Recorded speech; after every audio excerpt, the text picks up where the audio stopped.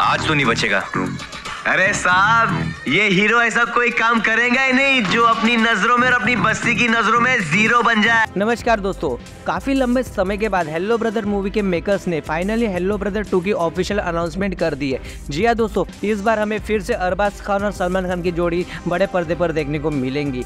जिस तरह सलमान खान और अरबाज खान ने उन्नीस में रिलीज़ हुई फ़िल्म हेलो ब्रदर में जो कॉमेडी दिखाई थी, वो कॉमेडी का डोज फिर से हमें मिलने वाला है। जी हाँ दोस्तों, वही फ़िल्म में मेन लीड में हम सभी को अरबाज खान और सलमान खान दिखाई देने वाले हैं और साथ ही में रानी मुखर्जी भी देखने को मिलेंगी। जी हाँ दोस्तों, ये फ़िल्म उस वक्त की दमदार ब्लॉकबस्टर मूवी साबित हुई थी। वही आपको बता दें कि हाल ही में हेलो ब्रदर मूवी के मेकर्स की तरफ़ से हेलो ब्रदर टू की ऑफिशियल अनाउंसमेंट हो चुकी है। लगभग चौबीस सालों के एक लंबे अंतराल के बाद फाइनली इस ब्लॉकबस्टर फ़िल्म के सीक्वल को बनाने का फैसला कर लिया है। मीडिया रिपोर्ट्स की माने तो इस फ़िल्म में अरबाज खान और सलमान खान सिर्फ़ कैमियो करते ही नज़र आएँगे। जी हाँ दोस्तों, इस बार हेलो ब्रदर टू पूरी तरह से अलग रहने वाली है, जिसमें बताया जा रहा है कि कार्तिक आर्यन के साथ अरबाज खान के बेटे अरहान खान इस फ़िल्म के मेन लीड में नज़र आएँगे। वही इसके अलावा हेलो ब्रदर टू मूवी को एक बार फिर से अपना ज़बरदस्त डायरेक्शन देते हुए नज़र आएँगे सोहेल खान, जिन्होंने फ़िल्म की कहानी पर काम करना शुरू भी कर दिया है। बात करें फ़िल्म की शूटिंग की तो वो कब और कैसे शुरू होंगी, इसका अंदाज़ा लगाया जा रहा है कि साल 2024 के फरवरी में